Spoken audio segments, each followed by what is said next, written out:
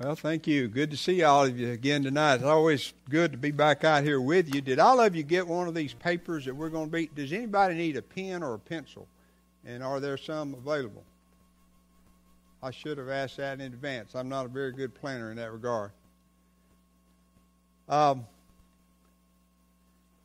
Caleb, I'll just tell y'all when it's time to advance, so don't sweat over the advancing part of it. And y'all always tell those guys thank you because that's a thankless job working in the sound booth because nobody ever thinks to say thank you to them. So let's give Caleb a hand right now.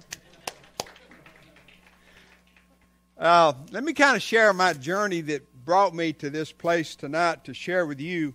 Uh, I pastored 34 years before becoming a director of missions, and uh, you know, a lot of people think that directors of missions don't know anything, so they they don't have anything to say. You know, DOM is my abbreviation. Some people think that's dirty old man. Some people think it's dumb old man, and I, I'll leave it up to you what you decide about that. But one of the things I've learned is every step you make in life, God uses that to through you to help other people, whether it's teaching school or pastoring or director of missions and so, pastoring for that many years in six different churches, uh, I learned a lot of lessons, and many of them were my own fault through and got bumps on the head from it. But there, there's a couple of things that's ha- had a profound impact to bring me to where I want to share the passion I will uh, tonight with you. Uh, one is I was uh, raised up in northern Sabine Parish, a little place called Converse, and when I was saved at the age of 11 uh, and I'm not here to put down any church or any group, but my church, I remember them telling me, You're saved and prepared to go to heaven. And y'all have a similar experience. You're saved and you're prepared to go to heaven. Well, part of that's true. You know, you're saved and prepared to go to heaven if you really are saved. And I just throw in an extra freebie there. When I was uh, uh, 21 and a preacher starting out, I went through a crisis when I doubted whether I was even saved at the age of 11 because my conversion was so non dramatic. Have you ever been down to a pond and a turtle slips off a log into the water? There's a little ripple and it's gone. Well, that's kind of how my conversion was. But anyway, back to when I was 11, I was saved, and, and I, I was. They tried to assure me by saying you're saved and go to heaven, but nobody ever bothered to tell me what being a disciple is and nobody ever bothered telling me that you're saved to serve. You're saved to follow Jesus. And so there was a void in there in my life for many years. And when I went to seminary in New Orleans in, in, at the age of 21, went to my first church, and for the first time I came to understand what being a disciple is. I was I was introduced to a, a material called Master Life. Have any of y'all ever been through that? Well, a man, by, a Southern Baptist missionary by the name of Avery Willis, uh, wrote Master Life, and uh, he was a missionary over in Southeast Asia in Indonesia.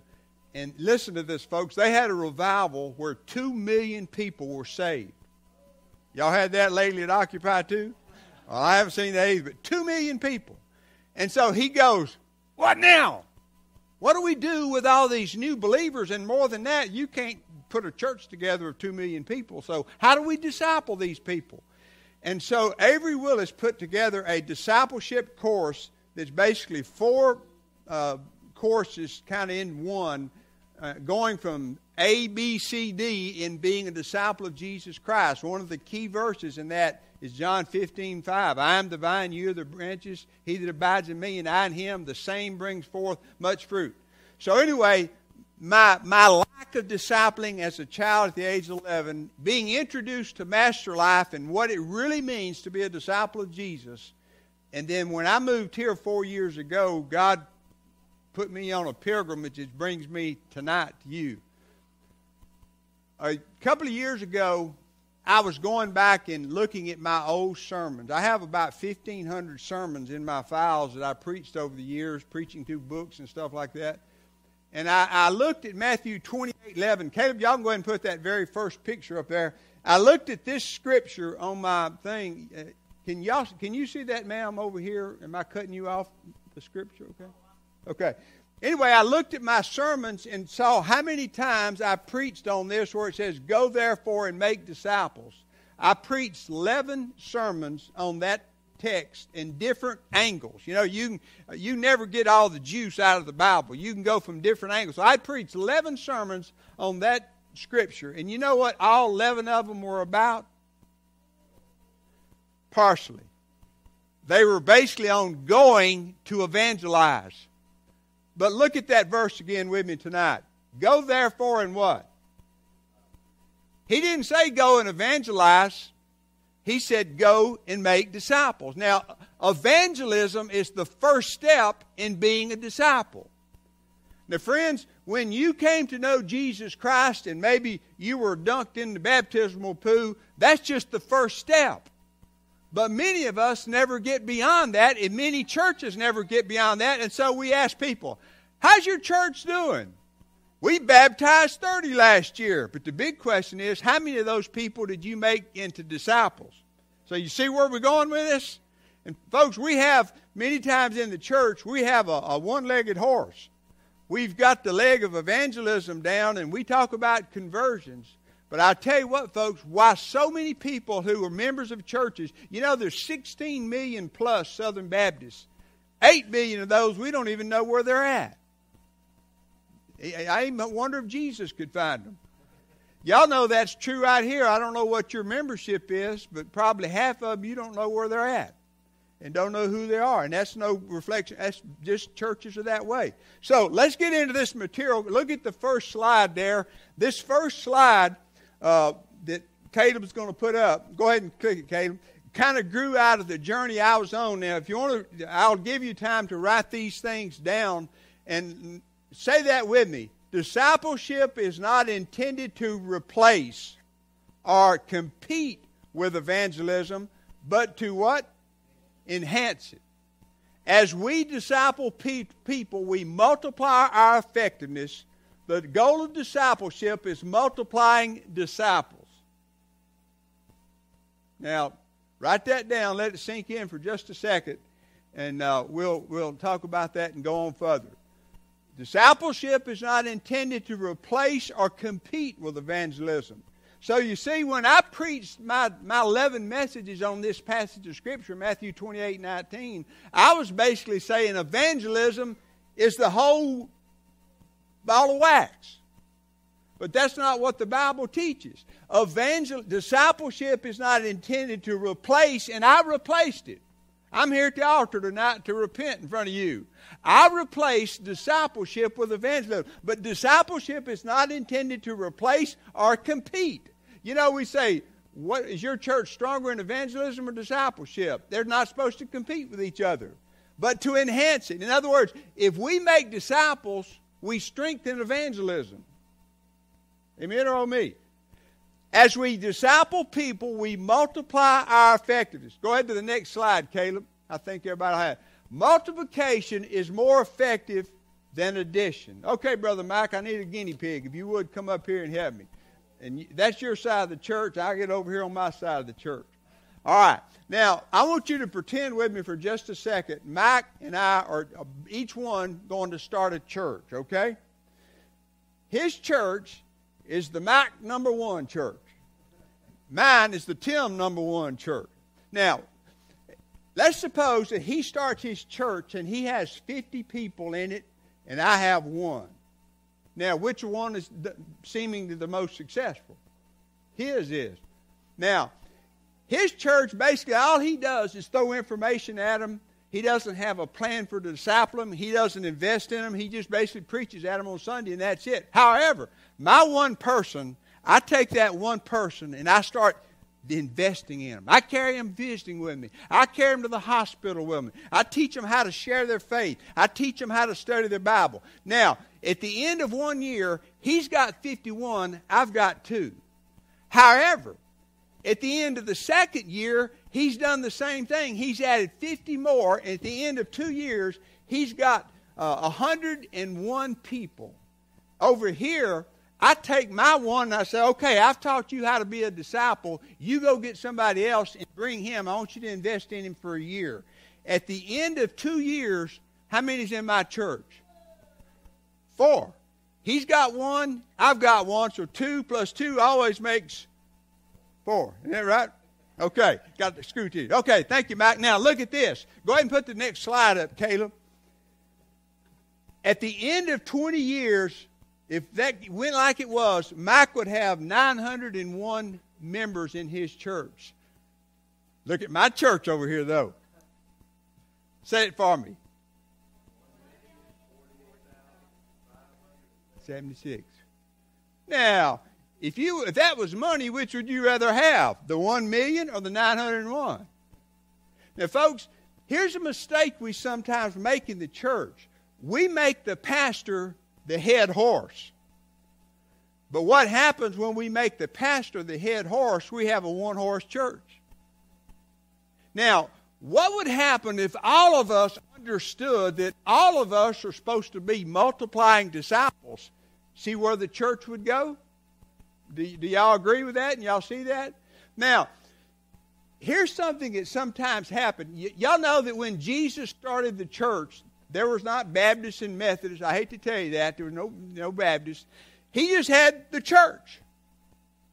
Well, over a period of time, that church was forming in the Roman Empire.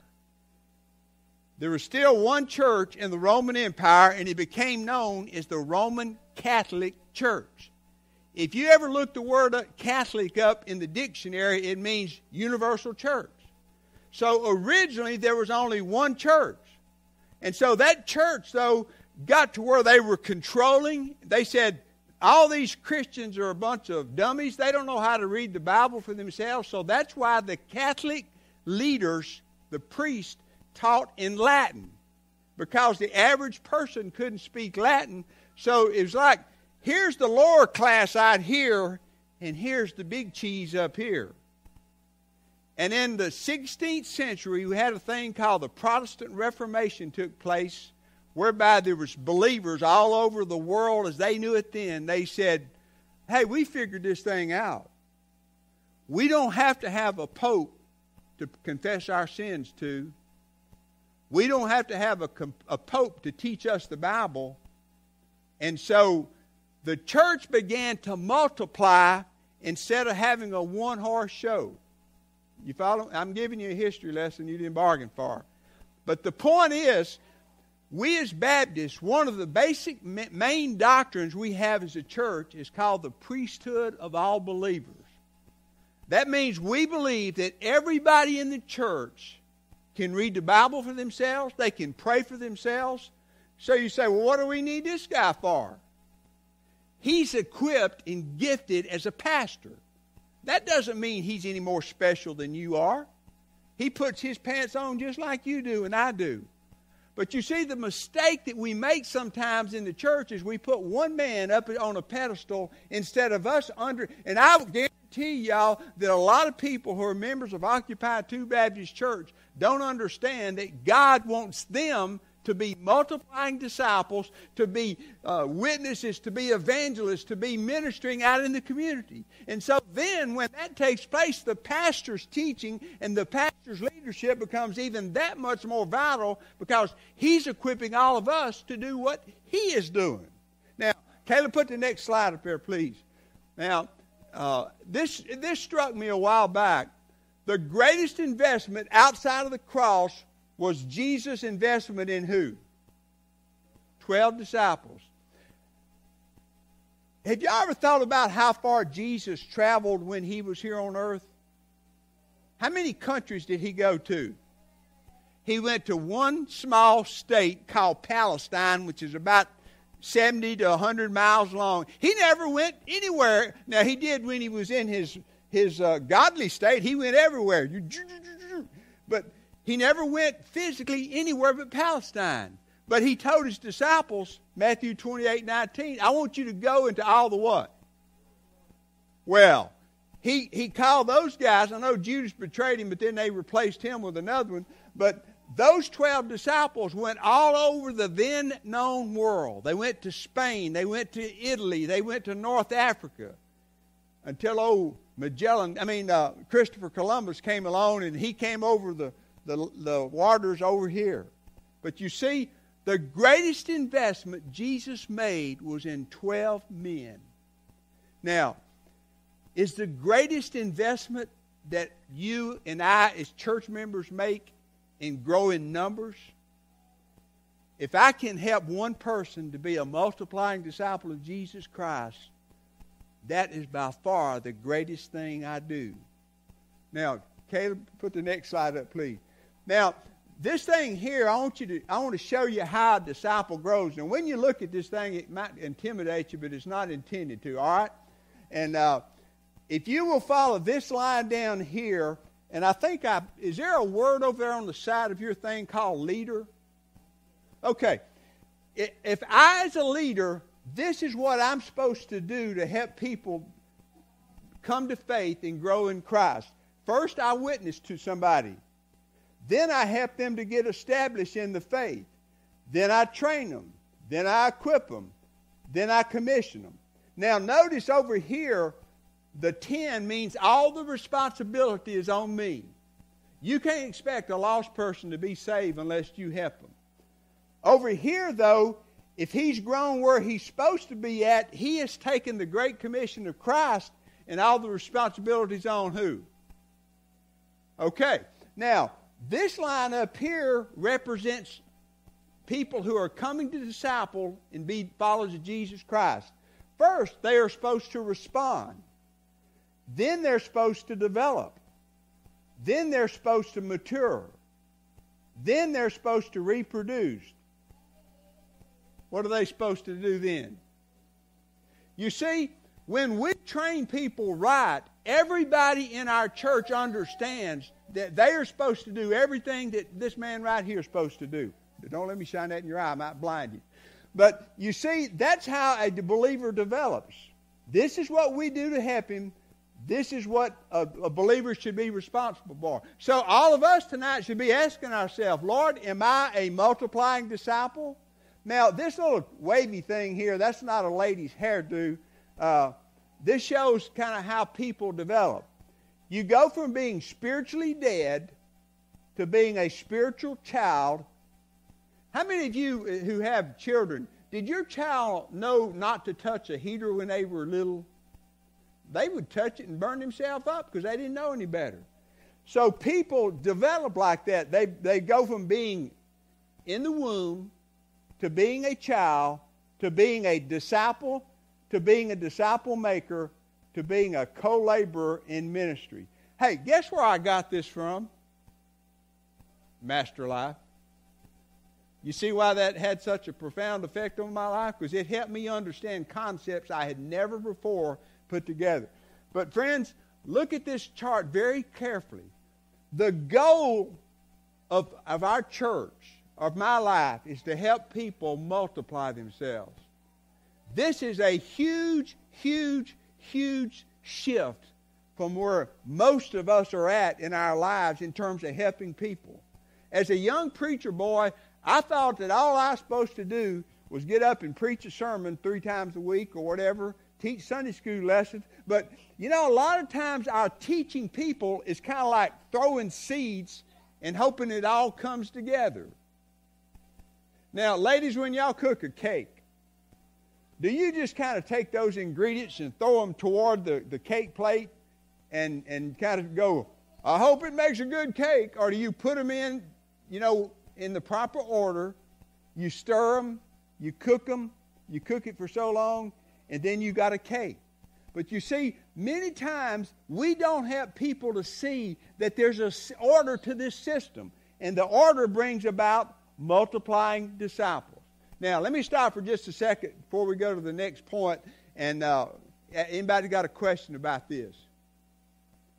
Y'all would stand up for just a second. I don't want you to get tired and bored on me, even though I'm a great speaker and all that stuff. I'm just teasing. Okay. All right. You got your legs circulating again, except for Leslie. She can stand up. She was late getting up. okay, turn to page two.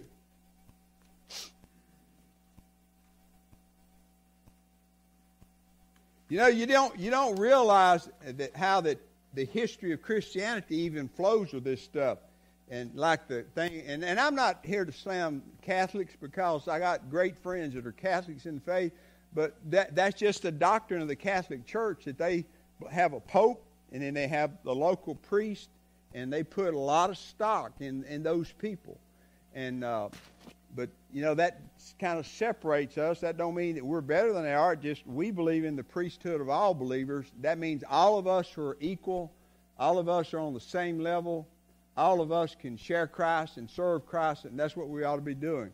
There's no levels. In fact, let me throw a little tidbit out to you. Do y'all know that the first English translation of the Bible, the King James Version, occurred in 1611? Six, almost 1600 years after Jesus died. Have you ever thought about where was the Bibles at for 1600 years? Y'all ever thought about that? The priests were hiding them. So finally, in, in right just before 1611, the King of England, you know what his name was? King James said, I believe that every man, woman, boy, and girl ought to be allowed to have their own Bible. And he gave permission. And listen to this he was not even a believer. God even uses unbelievers sometimes. Now, here's the rest of the story. There was a guy by the name of William Tyndale who was one of the first people who really helped to translate the scriptures from uh, Hebrew and Greek and Latin into the English language. You know what they did with him? They burned him at the stake and said he was a heretic for translating the Bible into English. Now, friends, let me just throw a freebie in here to you. If you ever criticize somebody for what translation of Bible they're using, you're doing the same thing that the people in England did to William Tyndale. You're burning them at the stake. For 1,600 years after Jesus, we had no English Bible. Then all of a sudden, we get a few on the landscape, and, and people think that they boss or something. Okay? Now, page two. Discipleship should be at the center of all we do. Okay? Um, brotherhood or Baptist men's groups. What should be the purpose of those? Make disciples. You know, the ladies had this big shindig up in DeRidder Friday night and wonderful. And a lot of y'all came up there. What should be the purpose of a women's conference? To make disciples. And, and sometimes we forget that. And, and, you know, the purpose of a sermon is to make disciples. The purpose of Sunday school is to make disciples. And, and folks, let me put a little plug in here. Sometimes we forget what we do things for. I, I was doing a seminar for one of our churches on discipleship, I mean, on Sunday school a while back, and I said, Y'all tell me something. What is the purpose of Sunday school? Now, this is about 15 or 20 adults sitting in a room. They came up with two answers for why we have Sunday school. What, what would you say they said? Fellowship, you know, eat donuts, drink coffee. I like that too. But number two was to study the Bible. And I said, folks, could I, could I suggest something to you that will absolutely set you on fire for Sunday school?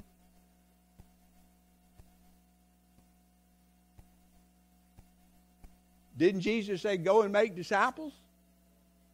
Sunday school ought to be making disciples. Now, I'm chasing some rabbits here, but this is good stuff. I got to get them in. Now, have you ever thought about all the things that, that are modeled in a Sunday school class on Sunday morning? Now, unfortunately, sometimes things that ought to not be modeled are modeled. I think Obama ought to be shot.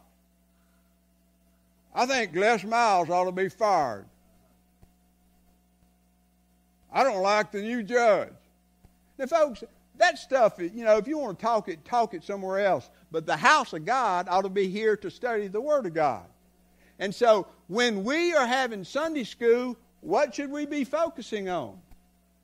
But think about all the things that are modeled in a Sunday school class. first off, people walk in, they all see people having a good time in fellowship, eating donuts, drinking coffee. What do we call that? Fellowship. And then we sit down and get ready to start the lesson. They ought to hear real concern about prayer. Not just for people who are, who are sick, but people who need to go to heaven, need to be saved. And then in a lot of Sunday school classes, we pass a little basket around, you know, uh, like these offering plates over here. Now, what is that modeling? We believe that you should tithe and, and be a steward of what you own to God. And then we, we talk about, you know, Joe and Mary had a little baby last week, and, you know, it's hard when you got a new baby to cook meals, so we say we ought to cook a meal. Okay, so they've seen fellowship, they've seen prayer, they've seen uh, ministry, they've seen Bible study. When maybe the Lottie Moon Christmas offering has come up where we take up money for mission, they see what it means to be a steward. So that's five things right there in that class. And then they say, right before they dismiss, they say, Brother Mike's going to preach a good sermon today. Let's pray for him. They're getting ready for worship. Folks, that is a pretty good place to disciple people if we take that to heart. And so, teachers, please remember your purpose in teaching a Sunday school is to disciple people. Now, uh, I'm going to insert a couple of books in here and, and something that said there's a guy who works for the Lifeway of the Southern Baptist Convention, which is our printing board. Uh, put a book out some time ago when he said there's five broken views of discipleship, and I measure what somebody says by what Jesus said. Now look at what he had to say. Number one, one broken view on discipleship is we create discipleship with information transfer.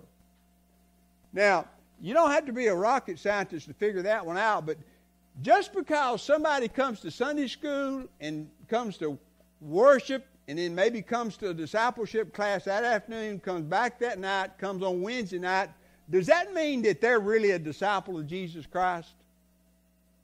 Y'all know as well as I do, some of the meanest people on earth are people who have a whole bunch of knowledge up here, but it somehow hadn't gotten down here. So we equate discipleship with what?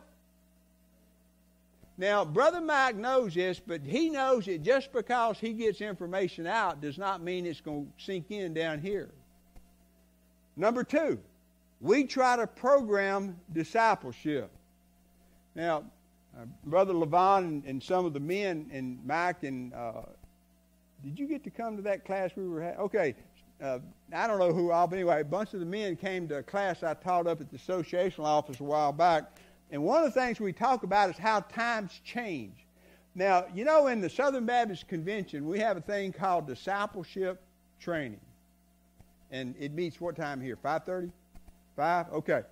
But to be honest with you folks, there is not one out of a hundred churches in the Southern Baptist Convention that are accomplishing anything with that. Now, I'm, I'm not critical. I'm just saying that's just the facts. In fact, I'm not going to ask you to raise your hand, but if I was a betting man and I wanted to make some money, I would bet that probably maybe 10% of the people in this room would come to a discipleship class. But discipleship is not a class and it's not a program.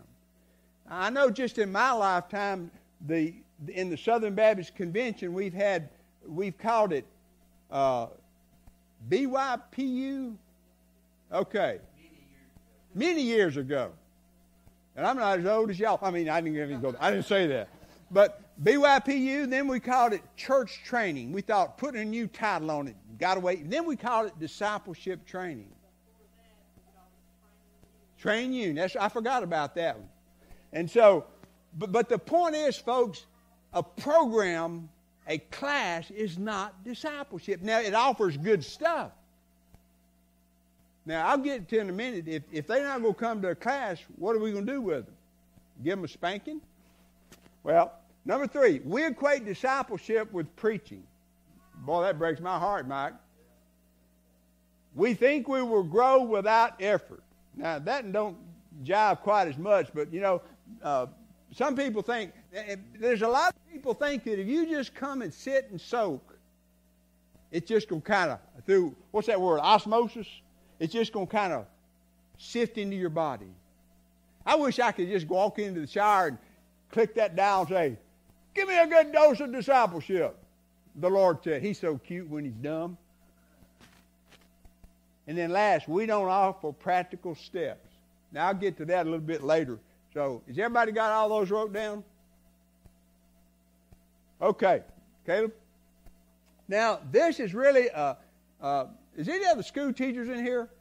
Okay, got a school teacher there, Melissa. Okay, this learning pyramid was developed by a group called the National Training Laboratories in Bethel, Maine, and they studied how people learn best. Now, look at this. What I'm doing right now Y'all gonna probably forget what I said by the time you go to bed tonight. That's depressing. Now let's go down. Reading, they lecture and reading, they retain 10%. Audio visual, they gain 20%. Demonstration, they gain 30%. Discussion group, 50%. Oh, and let me throw in something here about Sunday school. Teachers, you don't have to get up and show how smart you are when you teach a Sunday school class. Involve the class, and they're going to remember 50% more, or no, 45% more than if you just try to lecture to them. Uh, this morning, my wife was out with the flu, and so I taught the young couples. We had one, two, three, four couples in this class, and all these are below 35 years old. So I went and put my profound lesson on them I said, okay, now let me, let me talk to y'all about something. Every one of y'all in this room, I've got a goal of leading you and working with you, me and Judy, to be church leaders. And I said, I want y'all to critique my lesson today. And they said, okay. I said, now what did I do in this lesson today? Well, one young lady who writes for the Beauregard Daily News and is a reporter, she said, You ask a lot of questions. I said, When I ask questions, what am I doing? She said, You're getting us involved. Ding, ding, ding, ding, ding, ding, ding. Then I asked them to do some reading and, you know, to get involved in the class. And then I asked them to learn by doing, by giving answers to the questions. And then I brought into the lesson today. Do any of y'all have Explore the Bible in your Sunday school class? Okay, you got. Well, today we were talking about what is God. Uh, he's sovereign. He's just. He's good, but he's also jealous. And I said, if y'all thought about, if y'all heard who ISIS is, yeah, everybody knows who ISIS is. And I said, ISIS is kill, cutting people's heads off and burning them because they have a poor perspective of who God is. Do y'all know there's not a word for God is love in the Muslim faith? So what I did, we went to the, today's newspaper and pulled something out of the newspaper, and I said, folks, your worldview is vitally important. And what you believe about God is vitally important. Now, look at this last one teaching one to one. What does that bottom thing say there? 90%. Does that remind y'all of anybody? Who does it remind you of? Jesus Christ. How many disciples did he have? How many was in his inner circle that went with him everywhere he went? Three. And probably he even picked one of those, Simon Peter, out to be the number one. Now, I, I don't bet, y'all. I don't go to the casinos, but if you were a betting person and you had to bet on a 90% chance of winning big, and a 5%, which would you take? Duh. Even from converse, you can figure that one out. Now, folks, these things I'm sharing with you ought to sink deep within our hearts. Say, God, this, folks, I'm telling you, it's not because of me. This is what Jesus taught us. What I'm teaching you tonight will absolutely revolu- revolutionize your Christian life and the way you see your church and the way you see people. And so, uh, principle number two there is discipleship should be at the center of all we do. Let me share one other thing, and this is what God is blessing in evangelical churches across America today. Go ahead and put the next slide up, Caleb. There's a man by the name of Jim Putman. A few years, about 15 years ago, he was asked to go to Post Falls, Idaho. Does anybody know where Post Falls, Idaho is at? I've been asking this question. In the, I've done this seminar three times, and one person out of six churches knows where Post Falls, Idaho is at. That tells you what a big town is. But Jim Putman went to Post Falls, Idaho, and he met with four couples 15 years ago, and they said, We want to start a church that does things right. We want to focus on uh, worship and making disciples. Do you know how many those eight people have today in Post Falls, Idaho, in their worship services on a weekend now? 8,000. That's pretty good, isn't it? You know what their church slogan is? Y'all don't be reading, I'm writing while I'm talking, okay? Wait just a minute. Y'all trying to get ahead of me. You know what their church slogan is? Equipping disciples who make disciples. Y'all might want to write that down. That's not in your notes. If I'm equipping disciples who make disciples, remember the little church analogy? That means my church may look like it's growing slow, but it's actually getting ready to explode. Because I'm teaching people to be co laborers with me, multiplying disciples, and doing what I do. Now, Jim Putman wrote a book of, and folks, this is what's happening in evangelical churches in America today that God is blessing. One, they're, they're changing their mindset from reaching to making. Instead of saying, How many is your church running now? That's reaching. But churches in evangelical life today in America that God is really using, they're focusing on making disciples. We baptized 50 last year. The big question is not how many you baptized, how many did you disciple? Amen? Number two, from informing to equipping. So if I'm teaching a Sunday school class, I got to hurry. I'm ready for the desserts. I'm getting, I'm getting weak up here. Oh, okay. From from informing to equipping. So if I'm a Sunday school teacher, then I want to do more than just to convey a lesson. I want to equip my class in how to pray. I want to teach them to support the pastor. I tell you, folks, when I was pastoring, I had people that wouldn't even come to the worship service because they didn't like me. If, if the Sunday school teachers don't support the worship service, then how do you expect anybody else to? But you see, as a teacher, I'm conveying my convictions about prayer, my convictions about fellowship, my convictions about the Bible, my convictions about my church, my convictions about my pastor. But you see, all that should be taught in a Sunday school class from program to purpose. In other words, it doesn't matter if you have discipleship training or not. It's the, it's the thing is, are you getting the information to the people where they're at? If they won't come to a class, figure out another way to do it. Uh, I know a lot of churches that say they, they realize they can't get people to come at 5 or 5.30 on Sunday afternoon, so they have their discipleship classes on Sunday nights. A lot of churches are, uh, instead of having a Sunday night service, they're having discipleship groups. Now, the thing is, folks, if it's not in the Bible, don't get your, your, your heart in a leap. But the thing is, are, are we getting out of the program mentality to say our purpose is to disciple people. Number four, from activity to relationship. Again, I go back. If, if a person in this church goes to every activity you have, does that mean they're any more spiritual than anybody else? I, I use this illustration sometimes. Suppose on Sunday morning I've preached here for your church, and after church, I want to go out and turn into a car. So I lay down out there in the middle of that road. Does that make me a car? I did the activity. All you said was, that guy's nuts. You see, activity does not equate to a relationship with Jesus Christ. Now listen, if we love Jesus Christ, should we not be willing to go anywhere and do anything that He wants us to do?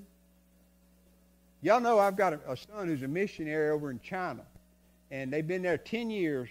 And uh, I may have told y'all this, and, and if I if I did, y'all say he's just getting old and he's senile and he can't remember what he told. But we carried our son and our daughter-in-law to the airport up in uh, Birmingham, Alabama. I was pastoring in Tuscaloosa. Oh, forgive me for that, Lord. And uh, we carried them there out into the airport. Boy, I was dreading that for weeks and weeks and weeks. I said, "Oh, this is going to be tough." And I said, "I'm not going to cry. I'm not going to cry. I'm not going to cry." I got to the airport. What do y'all think I did? I didn't just cry well. I went, ah! I mean, I was. People looking at me. What's wrong with that man over there? Somebody died. Well, I was giving my son away to the Chinese for a lifetime. I've watched my kids grow up on Skype. I see them from time to time, but I tell you what, friends, and I don't claim to be some super saint. I'm just a sinner down here on the on the scum row. But if I didn't love Jesus Christ just a little bit, I can tell you I wouldn't have put my son on that airplane. I'd have got him a job out at Boise or something. And I tell you what, dear friend, if you don't love Jesus Christ and have a love relationship with Him, you may come and sit on the pew every Sunday. Is it okay if I preach a little bit, Brother Mike? Okay. If you don't have a love relationship with Jesus Christ, you'll be, as they say up at Converse, dead as a door hammer. Do you know why a lot of people don't have any passion spiritually? And when, when I get to where I don't have any passion, I say, Lord, what's wrong with me? With who? With Jesus. Number five, from accumulating to deploying. So instead of us saying, well, we had 75 in church today, a better gauge is how many missionaries did we send out? Now, Sunday school teachers, I'm not down on y'all. I'm, I'm picking on y'all a bit tonight. But if I got a Sunday school class and there's 20 people in my class this year and next year there's still 20 people in my class, what should I be asking myself? There's something wrong with my teaching. How many children's workers have I sent out this year? How many mission projects have our class done this year? Amen or oh me? How many people have we sent to the youth ministry to help with the youth ministry? And, and we got this little thing. This is our class. Keep your hands off of it and don't bother any of our people. If I'm a real man of God, if I'm a real teacher, then my goal is to deploy people out of my class into other classes.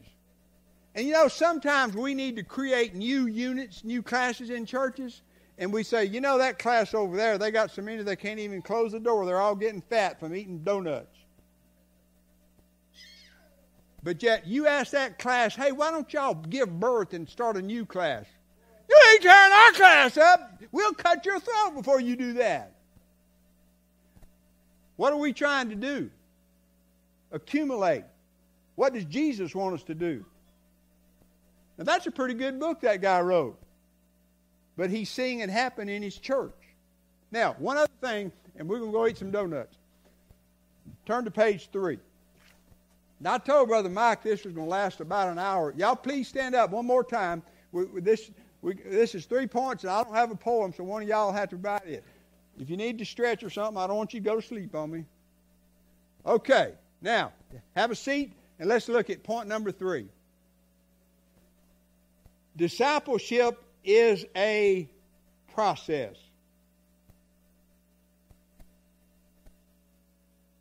Now, you school teachers, do, do kids just show up in kindergarten and jump from kindergarten to the 12th grade? She looked at me like, Are you crazy? Now, with kids, we first teach them how to, you know, do the ABCs and read and write. Then they go to the elementary school and they're learning all kind of neat stuff. And they go to junior high school and they go crazy at that point. And then they go through high school and we teach them, you know, math and algebra and things like that. But you see, education and learning is kind of like building blocks. Judy and I just built a new house out uh, on the other side of DeRidder. And you know, when you're building a house, you get so excited you're pumped up about it and you want to see it there. And so we buy this three and a half acres of land. Boy, it's covered with trees. And I'm thinking, good Lord, I'm going to put a house there, and water's about a foot deep right where we want to put our house. But we start the process. So we start cutting trees and bulldozing and cleaning up, and then they put the, the clean up and put the pad down where the house is going to sit. Then they build framed and, and, and pour the concrete, and then they put up the walls and they put on the roof, and you know how you build a house. Well, that's a process. But you see, when people come to be saved and come into our church, we say, oh, by the way, you're going to heaven. Have we missed something? It's a process. Now, go ahead, Caleb. Here a while back, I was studying from the book of Matthew. You can do this in all of the Gospels, but I used Matthew just so that there would be continuity. And so I looked at how Jesus de- developed his disciples. In Matthew 4:19, it says, "Follow me, and I will what? Make you fishers of men." That was the call to be a disciple. Then in Matthew 5, 5 6, and 7, we call that what? Sermon on the Mount. Okay. In that in the Sermon on the Mount, Jesus does what's called the Beatitudes. He talks about prayer. He talks about lust. He talks about divorce. He talks about murder. He talks about forgiveness. And so he called them, then he did what to them? He taught them. Then, boy, this blew me away. In Matthew 8 and 9, Jesus modeled. And if you go and read those two chapters, you go home now, don't do it now, I'm talking. You'll find that in those chapters, Jesus dealt with a bunch of, of people that needed ministry. He, he heals one or two lepers. He casts demons out of a couple people. Boy, don't that sound like a Tuesday night visitation? He, uh, he healed several people and he ministered. But the thing is, he did it, but what was he doing? What's that word right there? He was modeling. Okay, church leaders, when people look at me, when they look at Brother Mike and Leslie, now they're not just looking to get the latest view. They ought to be seeing me as a model. Now, can I meddle some more? If you're a Christian and people look at your life, they ought to see you modeling. Last week, you know, a lot of the work I do is with pastors, praying with them, encouraging them. We got a roundtable Mike and I are in every Wednesday where we are doing a leadership thing. And last week, a, a, a, lady from another church said, "We got something going on in our church." I said, "Well, what you doing about it?" She said, "Well, the deacons have been meeting to talk about it." But she said the ma- thing that makes the problem worse is most of our deacons don't even come to church except on Sunday morning. I didn't say that. She told me that. And I said, so let me, let me make sure I'm listening to this right. Are you saying that you have trouble following men who are not setting a good example? She said, That's exactly what I'm saying. Now, let's take a vote on this. How many of y'all think that church leaders, whether it's pastors, Sunday school teachers, deacons, ought to be a good model for people to follow? We're kind of shy on that, aren't we?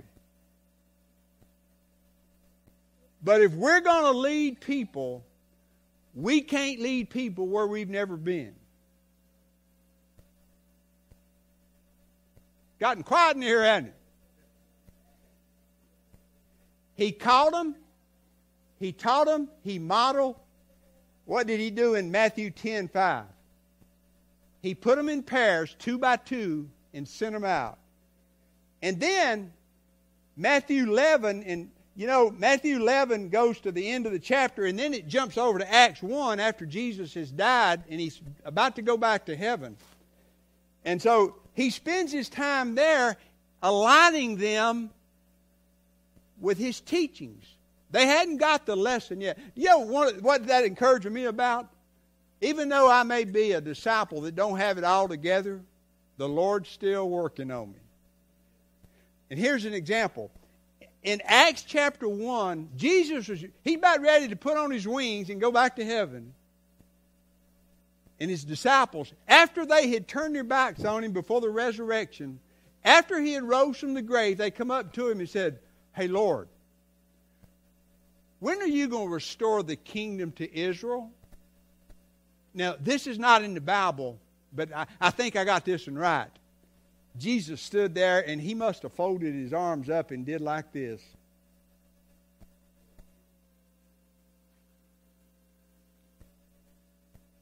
He was what? And what did he say to them after they asked that dumb question? I did not come to establish a kingdom for Israel. I came to establish a kingdom for God. Folks, your job as Occupy 2 Baptist Church is not to build a bigger church. Your job and my job is to build a kingdom for God and establish it for Him. Now, that's what we mean by a process. Okay? Caleb, put this next over. I'm just about through. I invented a new word, I mean, in, in relationship to, to discipleship. It's the word rip. It, it fits, so that's the best thing I could use. First, and this tells how Jesus process his process was relational. What did he say in Matthew 4:19? I'm giving you a hint here. Follow me. So in other words, you're not going to do anything you ought to do if you if you don't have a relationship with Jesus Christ. So when I'm trying to translate that out into my life, I'm I'm constantly trying to build relationships we go to New Life Church in DeRidder, and uh, last Sunday, this little couple, they, I don't know, I don't even think they're 30 years old, came, they're a prospect for our Sunday school class, so they came and sat down by us because we had been to visit them.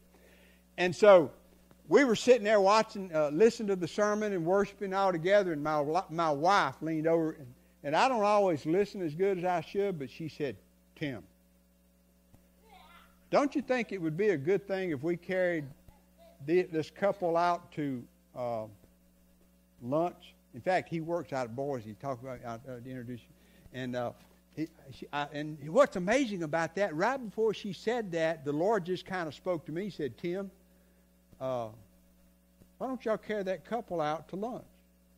Now I'm a tightwad. If you ask me to, to to separate from a dollar, I don't want to do it. My wife, she's just got a big heart. So, so we said that's the thing to do. Now we were trying to build relationships between us and them, not for Jesus.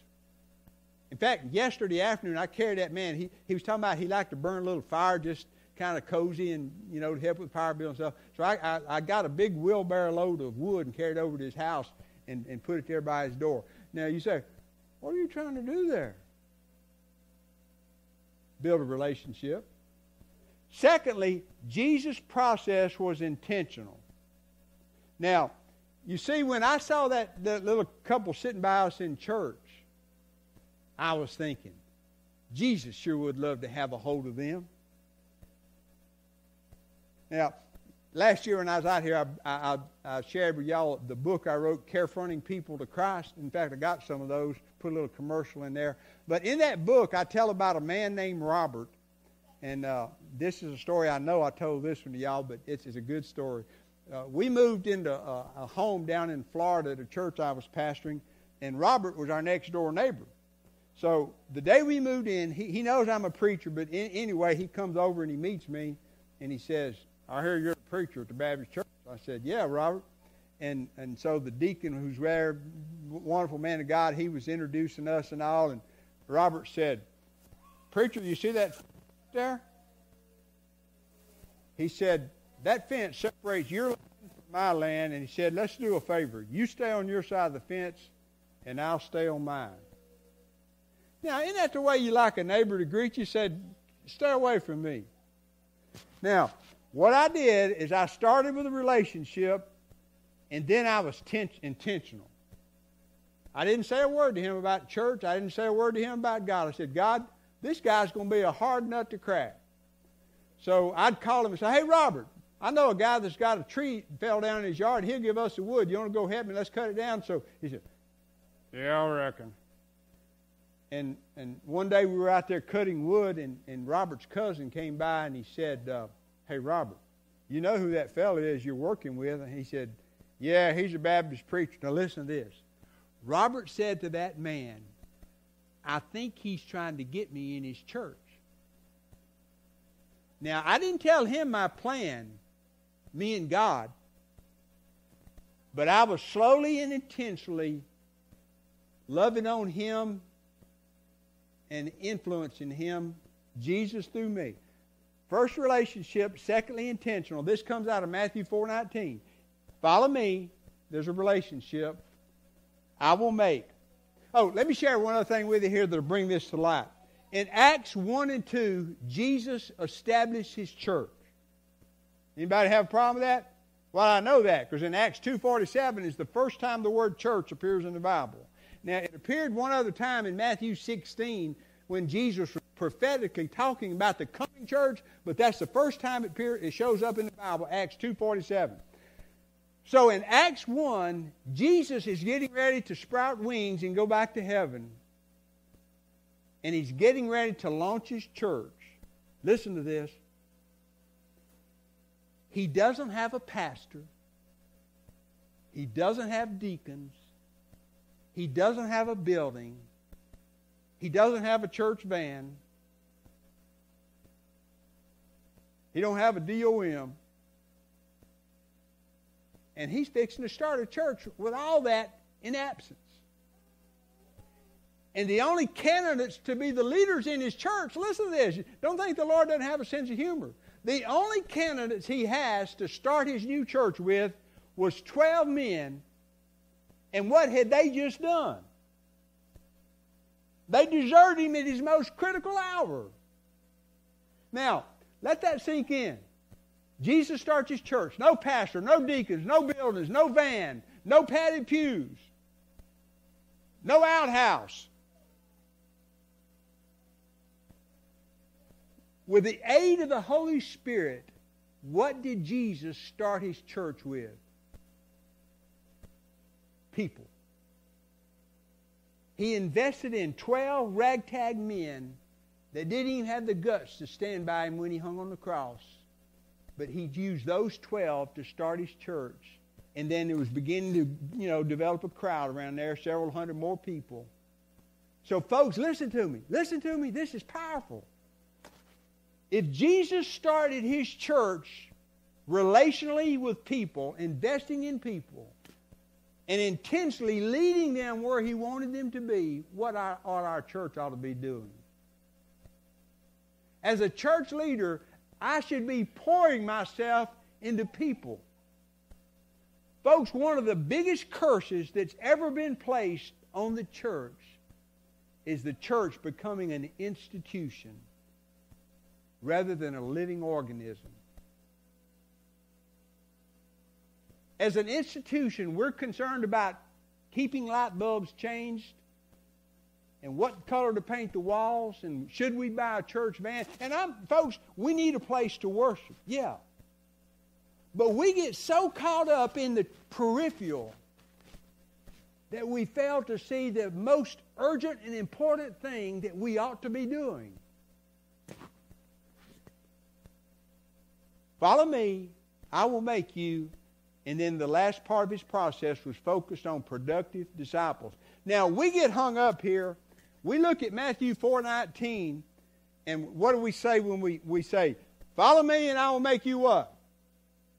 Fishers of men. Now, by that, we think that everybody ought to be out sharing their faith, and we, they should.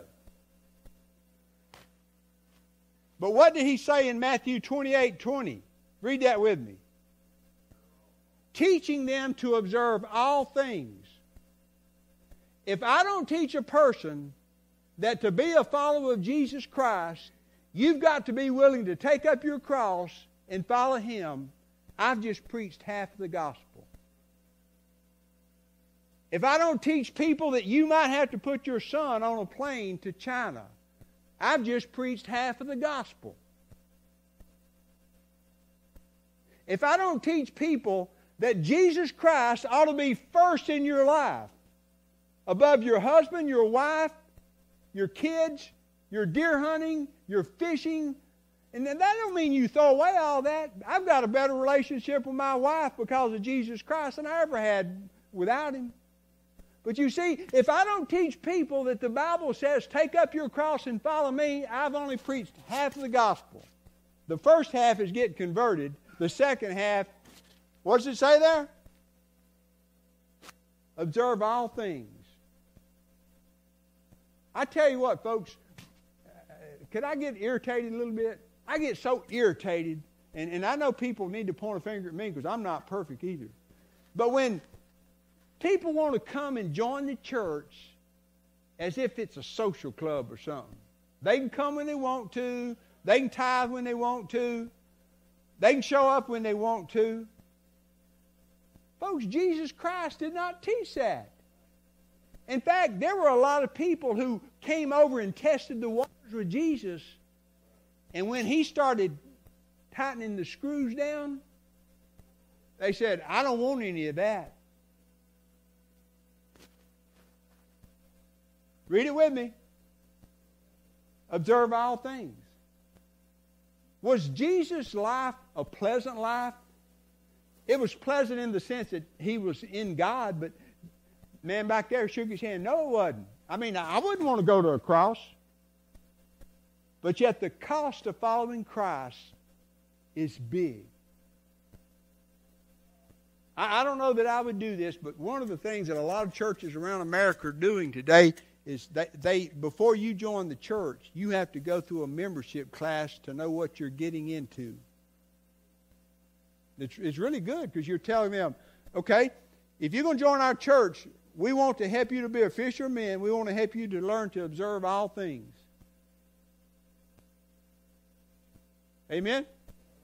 Now, let me show you this. All y'all know Tim Lee, don't you? Pastor at Smyrna. He grew up out here in your community. I was out at Smyrna last Sunday night doing this this uh, seminar. Go ahead, Caleb, to the next slide. And Tim borrowed something from Andy Stanley, and he's kind of uh, souped it up to be for Smyrna. And here's an example of a process.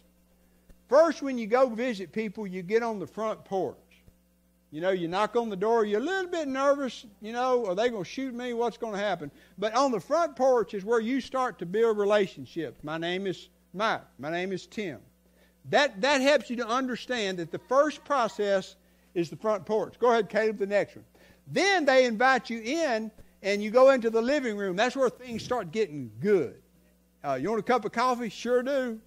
You want some cake to go with that? Sure do. And you get to talking. Uh, I grew up at Convert. Oh, you didn't. I grew up at Oak Grove. That's only three miles down the road. First thing you know, we're kissing cousins. But you see, the front porch is kind of the the first phase. The second phase is the living room, and it helps people to mentally visualize where you're trying to lead them to. Caleb? And the last is the kitchen. Now, this is, I'm going to have to straighten Tim out about this, but the kitchen for us men is not maybe the ideal thing, but you get the point. Ministry and mission is serving in God's kitchen. Now, the last few days, I've been doing more in the kitchen because my wife has had the flu, and uh, neither one of us enjoys unloading the dishwasher. Does anybody enjoy unloading? That's the most most uh, heart wrenching job, unloading the dishwasher. But I've been the last few days. I've been trying to be a good husband, and so I've been washing dishes, loading and unloading the dishwasher, and and I, I come in uh, uh, Friday before this big women's shindig. I said, "How you feeling, Judy?" And she said, "Fine." I said, "Well, you just sit down. I'll take care of everything." So I changed the covers on the bed. And uh, I'm such a good boy. But the thing is, you see, the, the people who go into the kitchen, husband or wife, they're serving the family. So you see, many times in the church, we throw out all these things, but they don't seem to have any correlation to each other.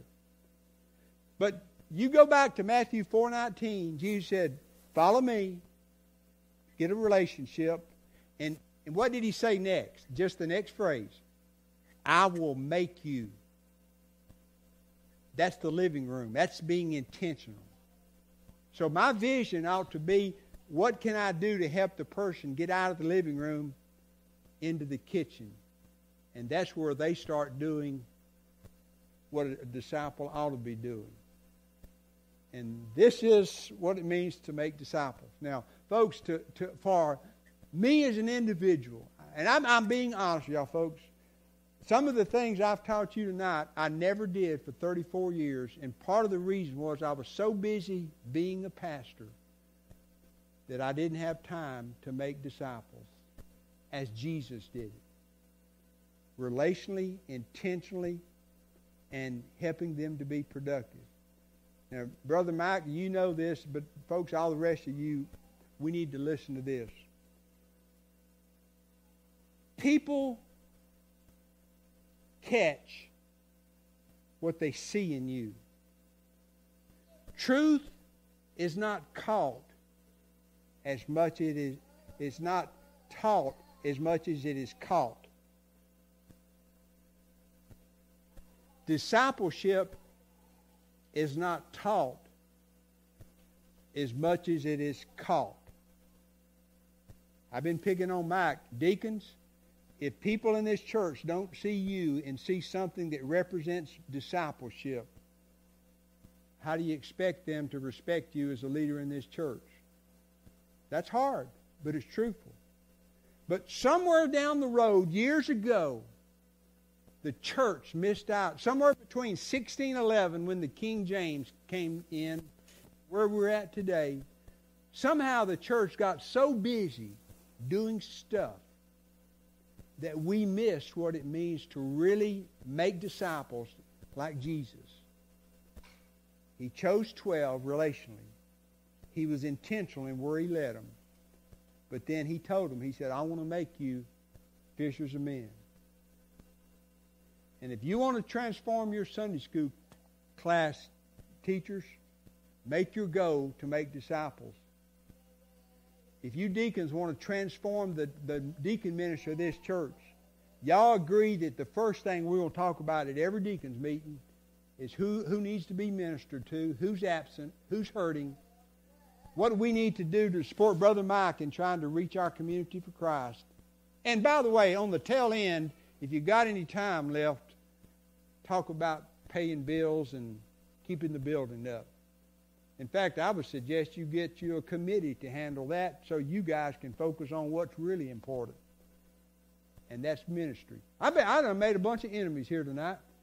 But I tell you what, you show me where anything I've taught you tonight is wrong, and I'll give you a hundred dollar bill. I'm so confident that this is what Jesus wanted us to do. Brother Mike, anything in closing? We're going to have the blessing, and we're going to go. You took up part of my time, so I didn't go much over an hour, but thank God for worship leaders. We appreciate you, brother. And y'all, y'all, let me encourage you. People that do things to feed you, your worship leader, your pastor, your Sunday school teacher, your deacons who serve you, don't forget to say thank you, appreciate you, and I appreciate what you're doing, and the pianist, and anybody in the church, because all of us want a pat on the back. And rather than us having to give it to ourselves, we ought to, we ought to give it to other people. When you encourage people, it will bear fruit for the glory of Christ. Let's pray together and we'll move to the back. Father, thank you for these sweet people here at Occupy 2. Thank you for the pastor and what he's doing to lead them. And Lord, I just pray that you would com- uh, create a community of encouragement and a com- community that wants to see people disciple and grow in Christ. And I pray that you'll bless them as they serve you through this community. In Jesus' name we pray. Amen.